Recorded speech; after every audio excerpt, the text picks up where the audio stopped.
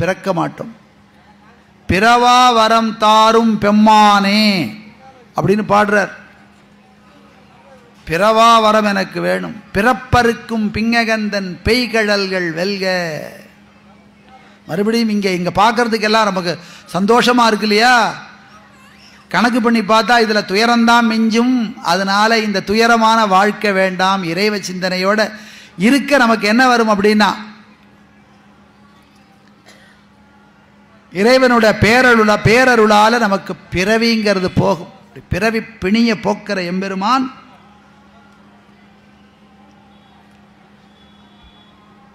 அவருடைய நாமம் எது அப்படின்னா ஐந்தெழுத்து மந்திரம். அது ஒரு மருந்துங்கிறார். பஞ்சாட்சரம் ஐந்தெழுத்து அப்படிங்கிறது ஒரு பெரிய மருந்து. மகா மந்திரம் அது அதை எப்படி சொல்லணும் அப்படின்னா அதை மருந்தாக்கிக்கலாம் எப்படின்னா திருநீர் எடுத்து அப்படி பூசும் பொழுது சிவாய நம என்று சிந்திப்போர்க்கு அபாயம் ஒருபோதும் இல்லை. மந்திரமாவது நீர். பஞ்சாட்சரம் மகாமந்திரம் பஸ்மேதி பரம ஔஷதம் மகாதேவ பரோபந்து ரிதி சாஸ்திர நிச்சய சிவபெருமானுடைய நாமம் மகாமந்திரம். அவருடைய திருநீரு எல்லா நோயையும் போக்கிற மருந்து. மந்திரமாவது நீர். வானவர் மேலது நீர். சுந்தரமாவது நீர். துதிக்கப்படுவது நீர். தந்திரமாவது நீர். சமயத்தில் உள்ளது நீரு. செந்துவர் வாயுமை பங்கல் திரு ஆலவாயான் திருநீரே துர்வாசர் அப்படின்னு ஒரு பெரிய ரிஷி. இந்த காலத்து ரிஷிகள்லாம் என்ன பண்ணுவா? அவரோட பெரிய தபஸ்விகள் பெரிய தபோ பலத்தினால எல்லா உலகங்களுக்கும் போயிட்டு வருவாங்க. பரம சிவபக்தர் ஆனால் பெரிய கோபக்கார் யாராவது பேசினா உடனே சாபம் புடி சாபம்ன்றவர். அப்படி பெரிய கோபக்காரர் எல்லா உலகங்களையும் சத்தியலோகம் விஷ்ணுலோகம் எல்லா லோகத்துக்கும் போயிட்டு கடைசியாக யமலோகத்துக்கு வரார். யமலோகத்தில் யார் இருப்பா அப்படின்னா யார் இந்த பிறவில் பாவங்கள் பல செய்து நரக வேதனைப்படுறவங்க தான் யமலோகத்தில் இருப்பா. அப்படி யமலோகத்துக்கு வந்த உடனே இவர் பெரிய ரிஷி வந்திருக்காருன்னு யமன் அவருக்கு பூரண கும்ப மரியாதை கூப்பிட்டு கொடுத்து வரவேற்கிறார். வாங்கும். ரிஷியுடைய திருப்பாதம் இந்த என்னுடைய யமலோகத்தில் பட்டதுன்னா எங்களுக்கு எல்லாருக்கும் க்ஷேமம் ஏற்படும். க்ஷேமம் ஏற்படும். பரம சிவபக்தரான ஒரு ரிஷி பரம சிவபக்தர் எங்கு காலடி எடுத்து வைத்தாலும் அந்த இடத்துல க்ஷேமம் ஏற்படும். திருநீர் அறிந்து ருத்ராட்சம் அணிந்து சிவநாமத்தை சொல்லி வர்றவர் அத்தனை பேரும் சிவபெருமானுக்கு சமானம்னு நினைக்கணும். சிவபக்தர்கள் எல்லாம் சிவபெருமானுக்கு இணையானவர்கள்.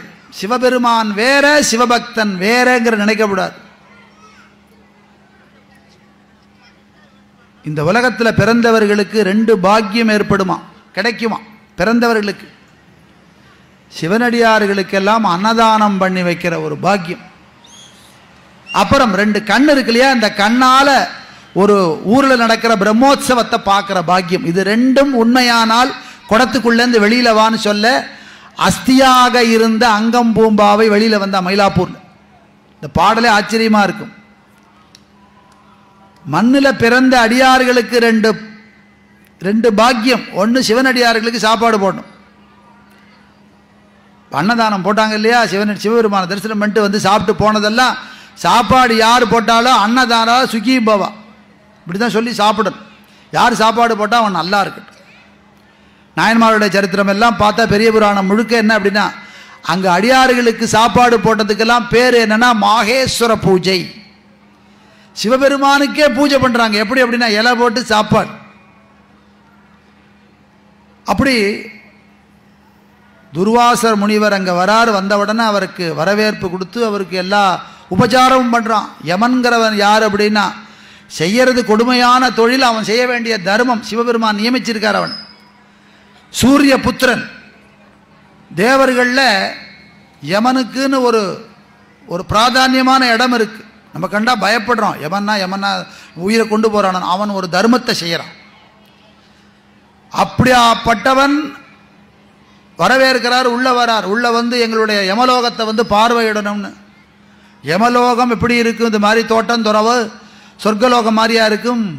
அங்கங்கே வேதனைகளோடு அங்கு நரக வேதனையை அனுபவிக்கிறவர்களுடைய கூக்குரல். அதான் கேட்கறது எப்படி கேட்கறது அப்படின்னா வெளியில் தெரியாது எல்லாம் ஒரு பெரிய கிணறு மாதிரி இருக்கான்.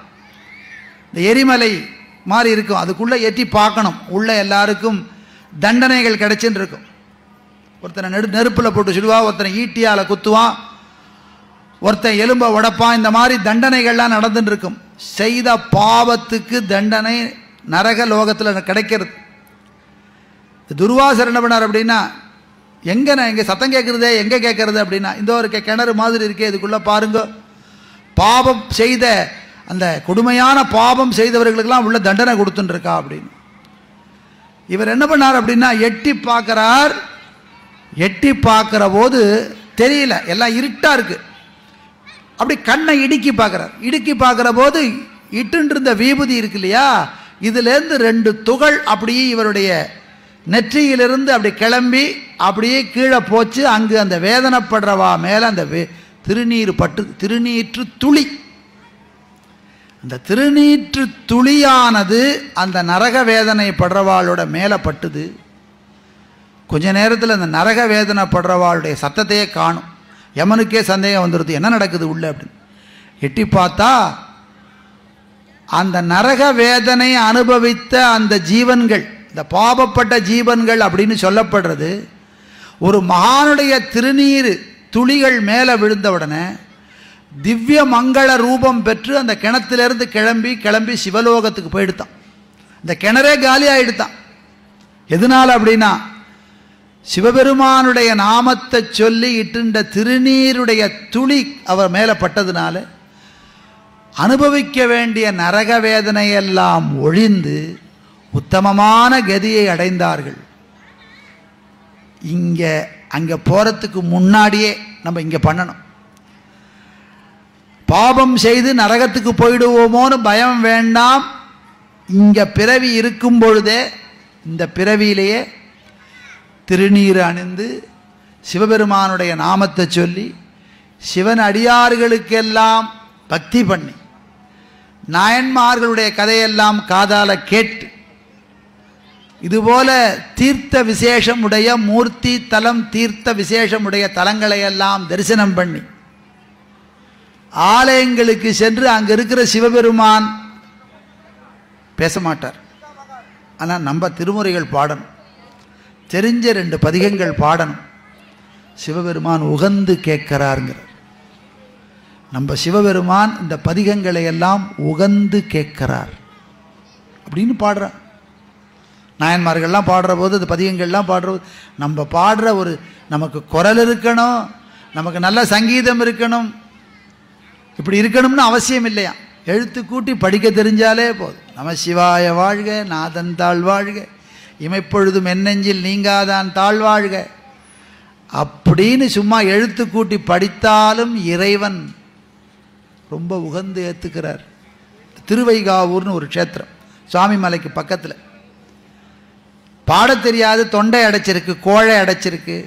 எழுத்து கூட்டி படித்து கூட எனக்கு சொல்ல தெரியாது. அப்படின்னா கூட அந்த பாடலை எல்லாம் பரமேஸ்வரன் உகந்து கேட்கிறாருங்கிறார் திருஞான சம்பந்தம்.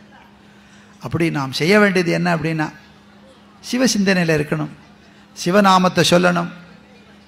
சிவபெருமானுடைய திருத்தலங்களை சென்று தரிசனம் பண்ணணும். தேவார திருமுறைகள் நம்மளுடைய சொந்த மொழியில் தாய்மொழியில் இருக்குது நம்ம அபிமானப்பட வேண்டியது எது அப்படின்னா இந்த திருமுறைகள் தான். வள்ளலார் பெருமான் சொல்றார் ஜீவன் முக்த நிலை அப்படிங்கிறது ஒன்றும் ஸ்பெஷலாக ஒன்றும் இல்லை. இந்த திருமுறைகளை படித்து அதனுடைய அர்த்தத்தில் மனசு ஆழ்ந்து இருக்கிற நிலையே ஜீவன் முக்த நிலை. சிவபெருமானுடைய கீர்த்தனங்களை பாடுறதே ஜீவன் முக்த நிலை. அப்படி இறைவனுடைய பேரருளை அடையறத்துக்கு நிறைய மார்க்கத்தை திருமுறைகள் காமிக்கிறது. ஒரு மாட்டுடைய பால் கறக்கிறதுக்கு நான்கு காம்புகள் இருக்கும். அதுபோல சரியை கிரியை யோகம் ஞானம் அந்த ரூபத்தில் திருஞான சம்பந்தர் திருநாவுக்கரசர் சுந்தரமூர்த்தி நாயனார் மாணிக்க வாசகர் இந்த சரியை கிரியை யோகம் யோகம் ஞானம் இந்த வழியில் நமக்கெல்லாம் பக்தி எப்படி பண்ணுறது அப்படிங்கிறது. மாட்டு உடம்பு முழுக்க பால் இருக்கு அமிர்தம் இருக்கு. ஆனால் காம்புல கறந்தாதான் பால் வரும். அதுபோல சரியை சிவபெருமான் ஆலயத்துக்கு வர்றது தரிசனம் பண்ணுறது கிரியை உள்ளே இருக்கிற புல் பூண்டெல்லாம் எடுக்கிறது உழவார பணியில் ஈடுபடுறது யோகம். சிவபெருமான் உடைய அவருடைய திருவடியை நினச்சி உருகி உருகி பாடுறது சுந்தரமூர்த்தி நாயனார் மாதிரி. ஞானம். சிவபெருமான் வேறு இல்லை நம்ம வேறு இல்லை நம்ம தான் நமக்குள்ளேயே சிவபெருமான் இருக்கார் அப்படிங்கிற நிலை. இப்படி இந்த நாலு நிலையும் பசுமாட்டின் நாலு காம்புகள்லேருந்து வர்றது போல பால் கறக்கலாம் அதுக்குள்ளே அந்த பாலிலிருந்து சிவபெருமானுடைய சிவபக்தியானது அந்த நாலு கா காம்புகளிலிருந்து வரும் அப்படின்னு நம்மளுடைய சைவ சித்தாந்தம் சொல்கிறது அப்படி இறை சிந்தனையோட இறைவனுடைய சிந்தனையோடு இருந்து பக்தி பண்ண வேண்டியது மார்க்கத்தை நமக்கு காமிச்சிருக்கா. இப்போ திருநீற்றின் பெருமையை பற்றி சொன்னோம். சிவநாமத்து பெருமையை மட்டும் சொல்லிட்டு முடிச்சுக்கிறேன்.